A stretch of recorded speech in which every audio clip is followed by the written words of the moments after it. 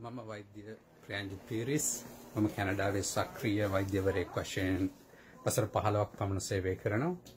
ඒවගේම මම වෛද්‍ය පශ්චාත් උපාධ්‍යායතනයේ පරීක්ෂකවරයෙක් වශයෙන් සේවය කරනවා.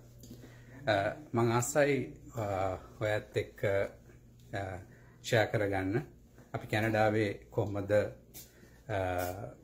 මේ කොරෝනා වෛරස් එකට මුහුණ දෙන්නේ කියලා. මේ සඳහා අපි ක්‍රම විදි කීපයක් සූදානම් කරලා තියෙනවා. ඒ ක්‍රමයක් තමයි අපි පුද්ගලයන්ව සෙල්ෆ් ඇසස්මන්ට් තත්ත්වයකට පත් කරන එක. උපදෙස් දෙන එක. ඒ වගේම සෙල්ෆ් මොනිටරින් සෙල්ෆ් අයිසොලේෂන් සහ පර්සනල් ඩිස්ටන්ස් කියන මේ හතර විදි ක්‍රමයට තමයි මේ වන විට කැනඩාවේ අපි මේ රෝගයට මුහුණ දෙන්නේ. අපි බලමු මේ එකින් එක අරගෙන මේවා කොහොමද සිද්ධ කරන්න කියලා. මුලින්ම අපි ගමු මේ සෙල්ෆ් ඇසස්මන්ට්. ඒ කියන්නේ තමා විසින්ම තමා තක්සේරු කර ගැනීමේ ක්‍රමය. එහිදී වඩාත්ම වැදගත් වන කරුණු හතරක් තිබෙනවා. ඒ හතර තමයි පුද්ගලයෙකු වෙන රටක සිට කැනඩාවට පැමිණීම. එහිදී මේ වන විට කැනඩාවේ අපි ඇමරිකාවාශ්‍රිතව ඉන්න ඇමරිකාවට විස ආසන්නේ තියෙන රට එතකොට ඇමරිකාවේ සිට පැමිණි පුද්ගලයන් පවා මේ ගණයට අයතිව. එතකොට ලෝකෙන් කුමන රටකින් හෝ කැනඩාවට පැමිණෙන පුද්ගලයෙකු මාර්තු මාසි දහතුන්ගෙන් දැන් පස්සේ ඒ අය සෙල් ෆයිසොලේෂන් කියන තත්ත්වයට යන්නට වෙන. සෙල් ෆයිසොලේෂන් කියන්නේ සොයන්න හුද කලාවීම.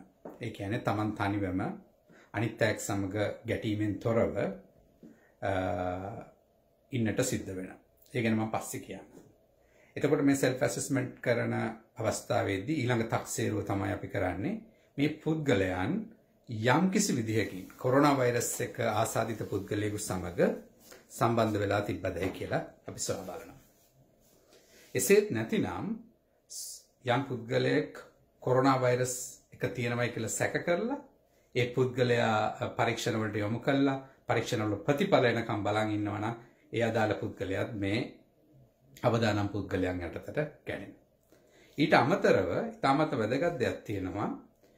ඔබ යම් පුද්ගලයෙකු ඇසුරු කරනවා. ඇසුරු කරපු පුද්ගලයා ඉතාමත් මෑතකදී මේ කියන්නේ පහුගිය දින 14 ඇතුළත පිටරටකින් පැමිණ සිටි පුද්ගලයෙක්ද කියලා කියලා බලලා ඒ පුද්ගලයාට සොසන ආබාධ මොනහරි කැස්ස උණ උස්ම ගැනීමේ අපහසු වැනි සොසනාබාධ තිබුණාද කියලා බලන්න. එවැනි රෝග එවැනි පුද්ගලයෙකු ඔබ ආශ්‍රය කරලා තිබෙනවා ඔබත් අර හයි රිස්ක් එහෙම නැත්නම් වැඩි අවදානම් තත්ත්වයේ පුද්ගලයෙක් බවට පත් වෙනවා. ඉතින් කැනඩාවේදී මොකද අපි කරන්නේ? self monitoring සහ self isolation කියන අවස්ථාවට මේ ආව යොමු කරනවා.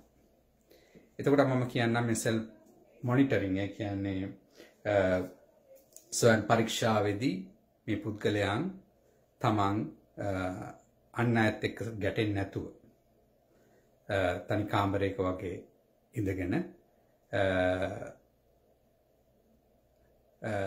මේ ඉදිරි දින 14 ගත කරන්නට සිද්ධ වෙනවා. ඒක ඉතාමත්ම වැදගත්. එතකොට ඔහුන්ට අවශ්‍ය සියලු පහසුකම් ඔවුන්ගේ නෑදෑ හිත මිතුරන් විසින් ලබා දෙනවා.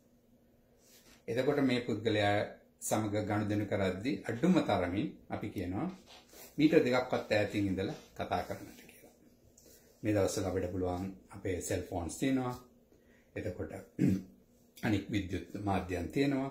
ඒත් එක්ක කතා කරන්නට පුළුවන්. කැනඩාවේ නම් වෛද්‍යවරත් සමග ඩිරෙක්ට්ලි ටෙලිහෙල්ත් මගින් හරි එහෙම නැත්නම් ස්කයිප් එවැනි ඉලෙක්ට්‍රොනික් ක්‍රමාශ ආශ්‍රයෙන් ඔබගේ වෛද්‍යවරත් එක්ක කතා කරන්න පුළුවන්. දැන් අද දිනේ ගත්තොත් මම පුද්ගලයන් පස් දෙනෙක් එක්ක විතර කතා කරා මේ වනවට ඔවුන්ගේ ඔවුන් සෙල්ෆ් අයිසොලේෂන් වෙලා ඉන්න කට්ටිය.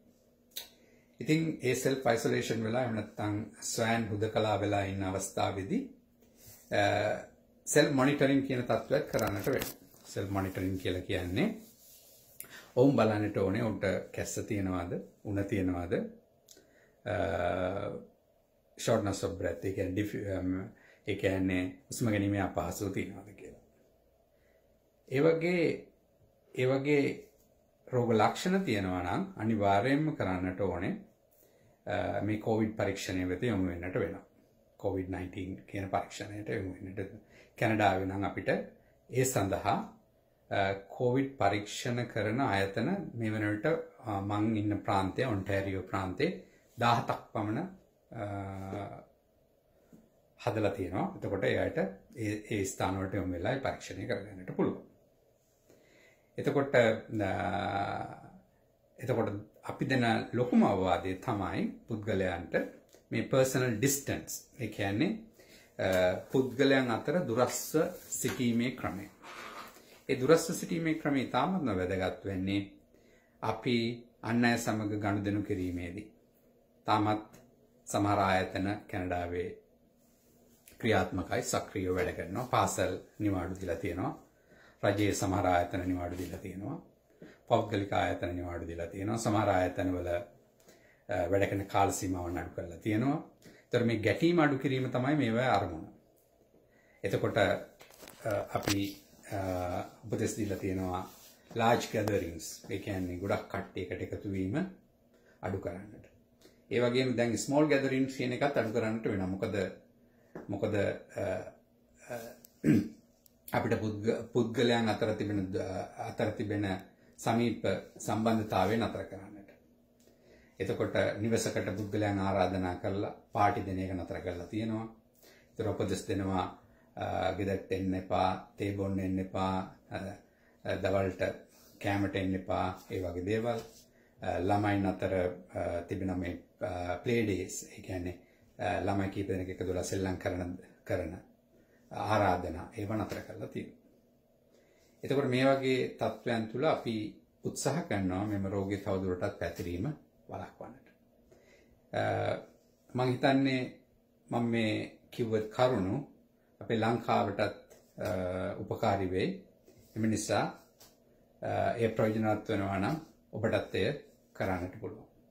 මම නැවතත් කියා දෙනවා self assessment ඒ කියන්නේ තමන් විසින්ම තක්සේරු කර ගැනීම සෙල් මොනිටරින් තමන් විසින්ම පරීක්ෂා කර ගැනීම සෙල් පයිසොලේෂන් වැදගත්ම දේ. තමා විසින්ම හුදකලාවීම හෝ තනිව සිටීම සහ maintains your personal distance උත්සාහ කරන්න හැම වෙලේදීම අන්පුද්ගලයන් ඇසුරෙන් ඈත්ව සිටීමට. මේ කරුණු ඔක්කොම එක විදිහට අපිට කරගන්නට පුළුවන් වුණොත් අපිට පුළුවන් ඉදිරි දින කීපයම නැත්නම් සති කීපයම නැත්නම් ඉදිරි අඩුම තරමේ මාස 3 ඇතුළත මේ රෝගය මුළු ලෝකයෙන්ම තුරන් කරන්නට. මම වෛද්‍ය ප්‍රියන්ජිත් පීරිස් කැනඩාවේ සිට.